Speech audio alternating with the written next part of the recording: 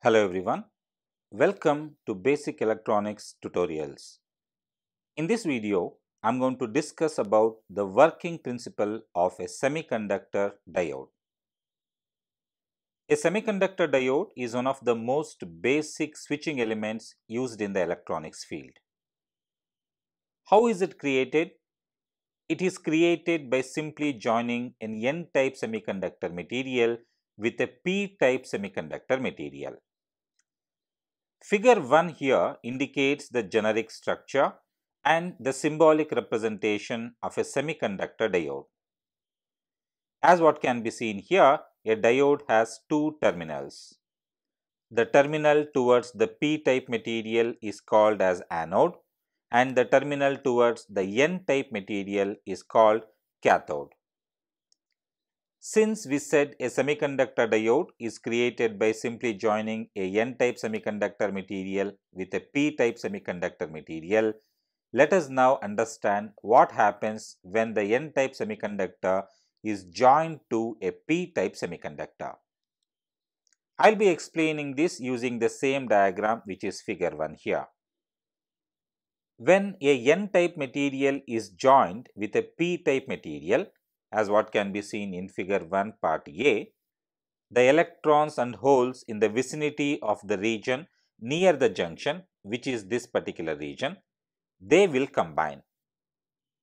This will result in the lack of free carriers or depletion of free carriers in this region and hence this region is called depletion region.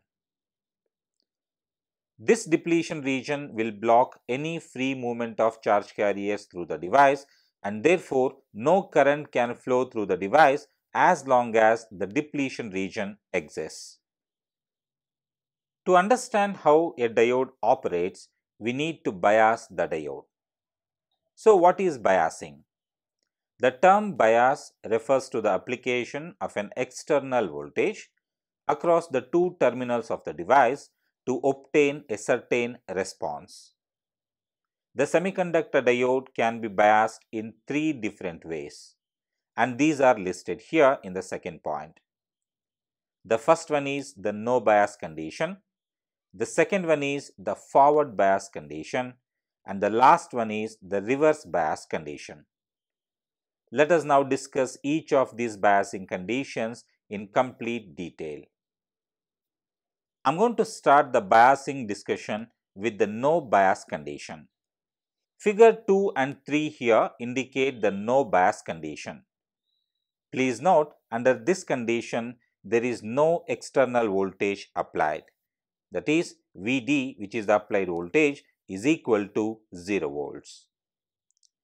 Since no voltage is applied to the device, there is no movement of majority charge carriers due to the presence of the depletion region.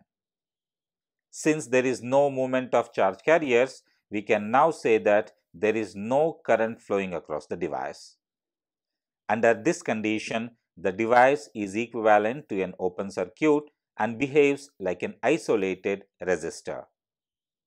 However, the minority charge carriers that are in the depletion region, which is this region here, they can move to the other semiconductor material causing a very small current called as the leakage current.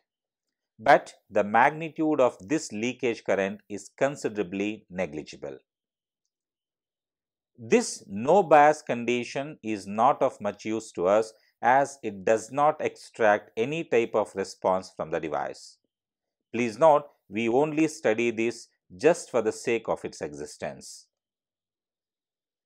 The second biasing condition I will be discussing is the reverse bias condition. If the applied external voltage is connected across the PN junction diode in such a way that the positive terminal of the external voltage source which is this one is connected to the n-type material which is the cathode and the negative terminal of the applied voltage source which is this one is connected to the p-type semiconductor material then such a biasing condition is called reverse biased condition. To understand how the semiconductor diode behaves in the reverse biased condition, we will be using the basic physics principle which is like charges repel each other and opposite charges attract each other. Now since the positive terminal of the voltage source is connected to the n-type material, it attracts electrons which are the majority charge carriers in this region.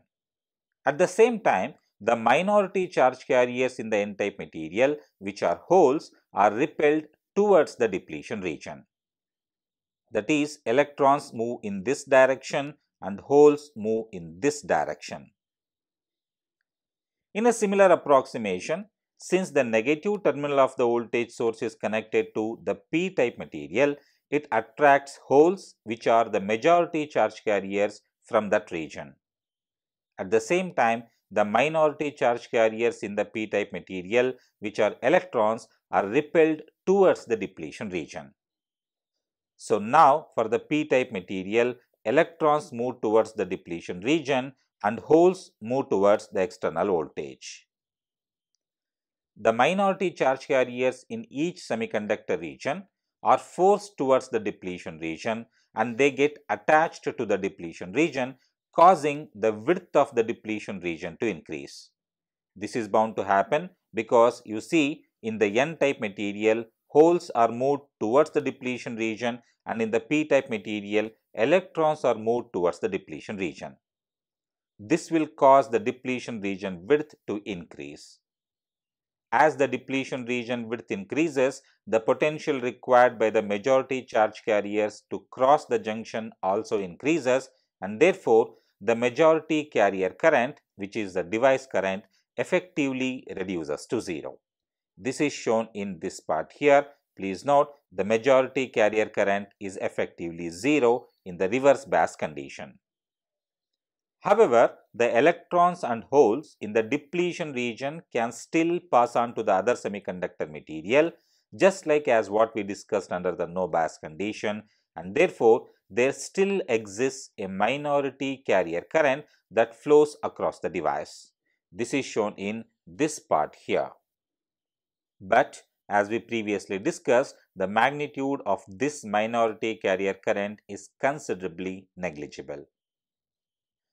The minority carrier current that exists under the reverse bias condition is called as the reverse saturation current and it is represented by IS which is shown here.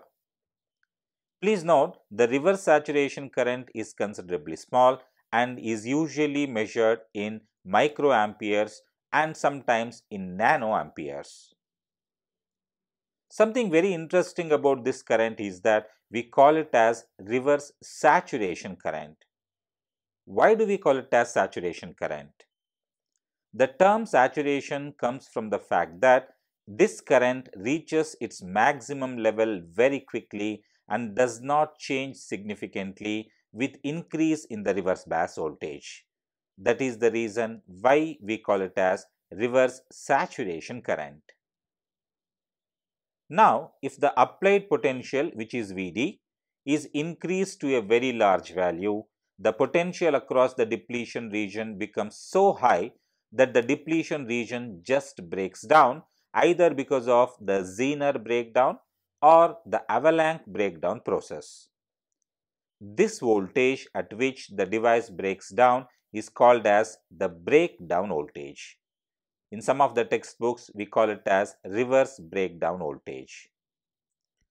When the depletion region breaks down, a pathway is created for all type of charge carriers to move across the device and this causes a sudden large current to flow across the device and the diode now behaves as if it is a short circuit. It should be noted that both the Zener as well as the avalanche breakdown processes are non-destructive and are reversible as long as the amount of current flowing across the device does not reach critical levels. If this current reaches the critical level, then the device will overheat and will suffer from thermal damage. Figure 5 here indicates the diode breakdown in the reverse biased condition. Please note this particular part here. For a large value of the reverse bias voltage, the current across the diode is considerably small, which is the reverse saturation current. Once the applied reverse voltage reaches the breakdown voltage, the diode will break down causing a sudden increase in the current and here in this particular picture we have indicated the Zener breakdown and the region so formed is called as Zener region. So in summary, in the reverse biased condition, the width of the depletion region increases and therefore the majority charge carriers fail to move across the device which effectively causes the current across the device to reduce to zero. If the voltage is further increased at some point which is the reverse breakdown voltage level, the diode will break down causing a large current to flow through the device and this is either caused by the Zener breakdown or the avalanche breakdown. Let us now move towards the last biasing condition which is the forward biasing condition. If the applied external voltage is connected across the PN junction diode in such a way that the positive terminal of the source which is this one is connected to the p-type semiconductor material and the negative terminal of the supply is connected to the n-type semiconductor material, then such a biasing condition is called forward biased or on condition. Since the positive terminal of the voltage source is connected to the p-type semiconductor material, it attracts electrons which are the minority charge carriers from this region. At the same time, the majority charge carriers in the p-type material which are holes are repelled towards the depletion region. So, at the p-type semiconductor material, electrons are moving out of the semiconductor material and holes are moving towards the depletion region. In a similar approximation, since the negative terminal of the voltage source is connected to the n-type semiconductor material, it attracts holes which are the minority charge carriers in the region.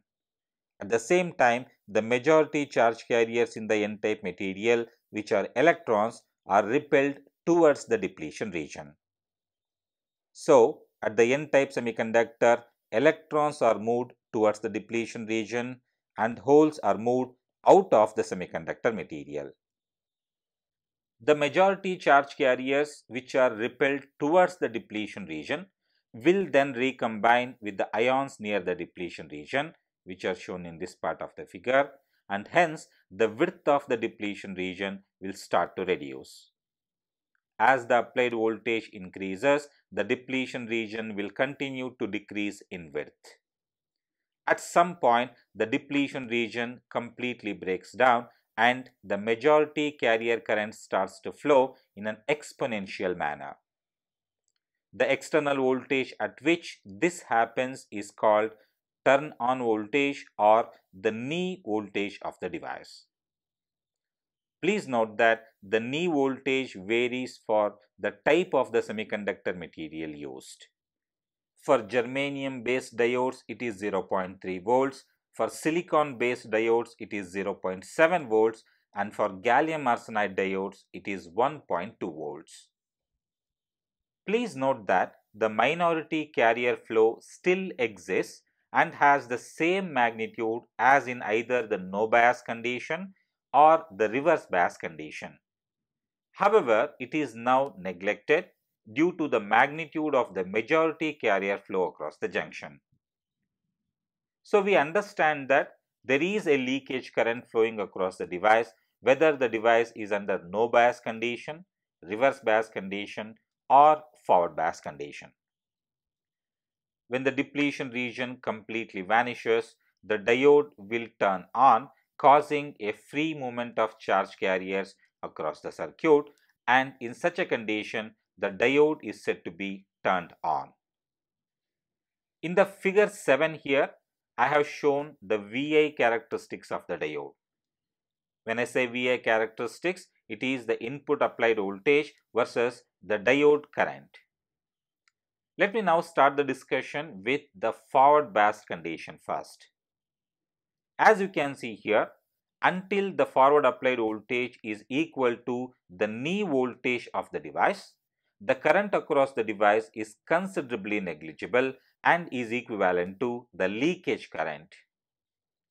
Once the applied voltage reaches the knee voltage, the junction vanishes and the device current starts to increase in an exponential manner. Please note the diode current is not linear but it must be exponential. Coming to the reverse bias condition, the diode behaves as if it is an isolated resistor as long as the reverse applied voltage is not equal to the reverse breakdown voltage. Under such condition, the current across the device is considerably small and is equal to the reverse saturation current and usually this is in terms of microamperes or nanoamperes. Once the applied voltage reaches the reverse breakdown voltage, the diode breaks down and this causes a very sudden and a very large current to flow across the device and this process is called as either Zener breakdown or avalanche breakdown. Please note that a diode is commonly used as a switching element. So, it is the first quadrant of the VA characteristic curves that are most important to us. Let us now write an equation for the current across the device in terms of the other parameters what we have discussed till now. This is shown in equation 1 here. The characteristics of the semiconductor diode can be defined using equation 1 and this equation is called as Shockley equation. Please note this equation is applicable for both the forward as well as the reverse bias regions. The equation states that the current across the device which is ID is equal to Is multiplied by e to the power of Vd divided by nVt minus 1 amperes where Is is the reverse saturation current, Vd is the applied forward bias voltage or reverse bias voltage across the diode and N is the ideality factor. Please note ideality factor is a function of the operating conditions as well as the physical constructions of the diode. Typically, it varies between 1 and 2. Lastly, the parameter Vt here is called as the thermal voltage and this is given in equation 2 here. The thermal voltage is equal to K into Tk divided by Q volts where K is the Boltzmann constant and is equal to 1.38 into 10 to the power of minus 23 joules per Kelvin. Tk is the absolute temperature in Kelvin and is equal to 273 plus the temperature in degrees Celsius. And lastly, Q is the magnitude of the electronic charge and is equal to 1.6 into 10 to the power of minus 19 coulombs. Right. With that, we have come to the end of this discussion on the working principle of a semiconductor diode. In my next video, I'll discuss about diode equivalent circuits and its load line analysis. So, stay tuned. Well, that is the end of this video. If you like this video, kindly like and share this video and subscribe to my channel for more tutorials on basic electronics. Thank you for watching. Have a good day.